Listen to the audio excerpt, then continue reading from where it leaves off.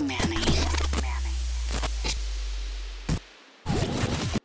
Hello, xin chào các bạn đã quay lại video lần này thì trong video lần này mình sẽ giải thích một cái chức năng mới hay là một cái ờ, thuật ngữ về MIDI mới trong cái thế giới MIDI thì trong thế giới MIDI ờ, một vài năm gần đây thì nó đã, như các bạn đã biết thì nó vừa ra một cái keyboard controller, nó gọi là cái keyboard thì cái keyboard này nó là một cái controller như thế nào thì các bạn xem cái video ở đây mình sẽ để cái video của nhà sản xuất ở đây ha.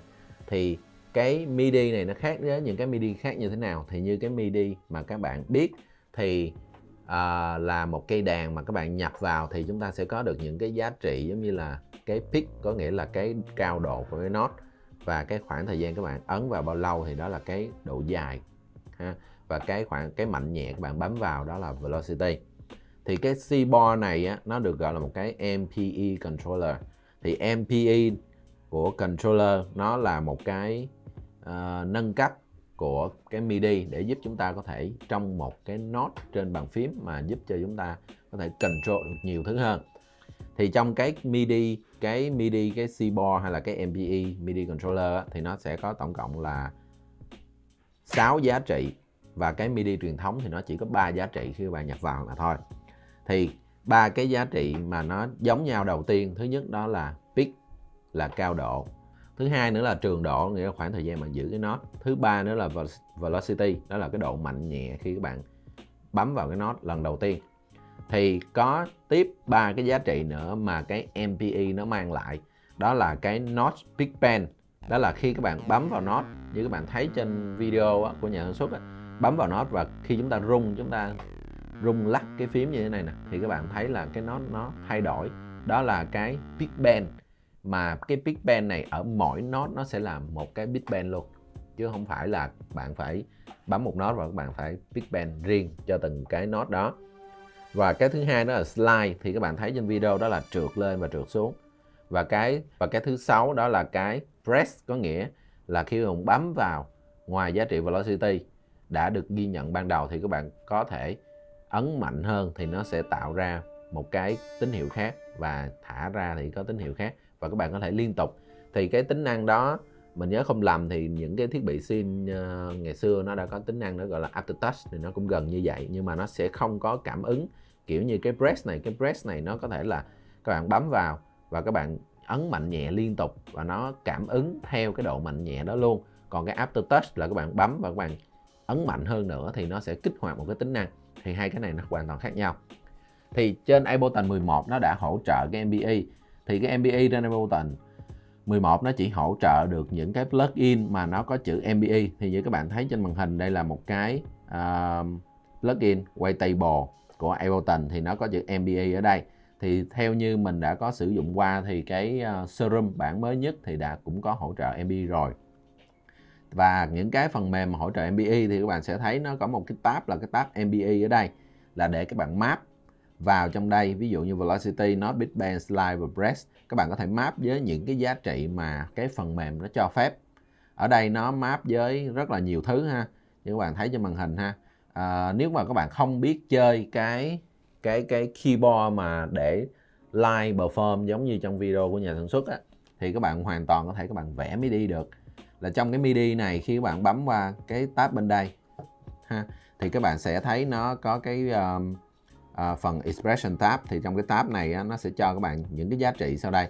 Đầu tiên các bạn nhìn lên cái node MIDI chúng ta thì bây giờ nó đã có thêm một cái uh, cái cái cái line nhỏ nữa. Và nó có ghi chữ là không ST có nghĩa là đây là cái semiton có nghĩa là các bạn có thể thay đổi được cái cao độ của nó theo thời gian. Như mình nói đó là cái à, cái pick band của từng node. Như mình vẽ cho màn hình các bạn dễ dàng thấy ha. Rồi cái thứ hai nữa là cái slide. Đây là slide và các bạn có thể edit cái slide này. Nó các bạn muốn slide lên slide xuống như thế nào đó. Và các bạn có thể cho slide ở những cái vị trí khác nhau slide theo ý của các bạn luôn. Bạn vẫn có thể edit được. Tiếp theo đó là cái pressure đó là cái độ mạnh nhẹ khi các bạn ấn vào cái phím thì bây giờ mình có thể cho nó mạnh nhẹ và automation nó theo ý của mình như thế này. Và cuối cùng đó là cái velocity, thì như cũ không có gì thay đổi ha. Velocity thì các bạn chỉ có thể cho được cái velocity ban đầu thôi. Rồi, thì bây giờ khi mình play cái này thì nó sẽ chạy cái node MIDI này, nhưng mà nó sẽ chạy theo cái MBE có nghĩa là nó sẽ control những cái tính năng đã được map trong cái tab MIDI ở đây. Giờ mình sẽ play ha. Các bạn thấy những cái uh, velocity not beat band slide và press thì các bạn thấy ở trên đây nó có một cái thanh màu xanh nó nhảy. Thì nó nhảy theo những cái gì mà mình vừa vẽ ở trong đó thì nó sẽ nhảy theo cái mức tín hiệu đó. Và những cái mức tín hiệu này nó sẽ tác động bao nhiêu phần trăm vào trong cái những cái tính năng mà được map dưới đây. Và ở đây thì tùy cái tính năng mà nó sẽ cho mình map giá trị nó là bao nhiêu giống như ở đây nếu mình muốn là cái breast này nó sẽ control cái pick thì mình chỉ cần tăng cái này lên. Ha thấp lại. Đó. Hoặc là mình muốn map chung với uh, cái slide này mình muốn map với cái uh, cái gì khác đi. Mình map với cái cái arm chẳng hạn. Thì khi mà trượt lên thì cái tín hiệu nó sẽ lớn hơn. Ha, và trượt xuống thì tín hiệu nó sẽ nhỏ hơn.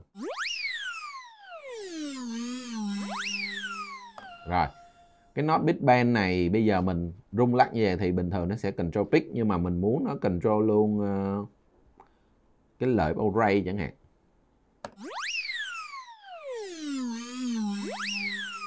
Ở đây thì mình cho tín hiệu nó hơi thấp mình sẽ kéo nó lên à, mình sẽ bỏ một vài thứ mình kéo nó lên cao thì có cao ha.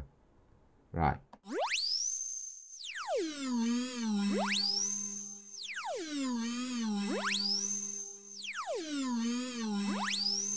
Đó. Thì như các bạn thấy là cái MBE này nó sẽ cho phép chúng ta map và chúng ta control được nhiều thứ hơn trên cùng một cái node MIDI không phải như hồi xưa là chúng ta chỉ vẽ node MIDI gồm cao độ, trường độ và velocity. Sau đó thì chúng ta phải automation rất là nhiều thứ. Bây giờ các bạn có thể map trực tiếp vào MBE và các bạn có thể edit trực tiếp trên MIDI theo những cái gì các bạn thích. Giống như là à, control ờ, LFO chẳng hạn. Đúng không? Thì nó sẽ tiện hơn cho các bạn rất là nhiều. Các bạn không cần phải có nhiều cái automation lane như hồi xưa để các bạn switch qua switch lại và các bạn phải ngồi edit từng cái mà bây giờ mọi thứ nó sẽ nằm trực tiếp trong cái MIDI clip thôi. Đó thì đó là tất cả những cái gì về à, uh, MBE thông tin cơ bản mà các bạn cần biết. Nếu các bạn có dự định mua một cái MBE thì các bạn hãy nghiên cứu uh, cái Cibor hay là cái một cái hãng khác mà mình thấy cái hãng này nó hay hơn đó là cái hãng Sensor thì cái hãng Sensor này nói chung nó rất là hay ho. Mình sẽ để một cái video phía dưới để các bạn click vào link trực tiếp coi cái nhà sản xuất giới thiệu về cái sensor đó là cái gì ha. À, xin cảm ơn các bạn đã xem video lần này. Và nếu các bạn thích những cái video này thì hãy comment cho mình biết. Còn nếu mà các bạn muốn tham gia những cái khóa học để biết về làm sao sử dụng phần mềm Ableton làm sao được trở thành một producer cơ bản nhất thì các bạn có thể xem những cái khóa học ở trên mcma.training và hẹn gặp lại các bạn trong video lần sau.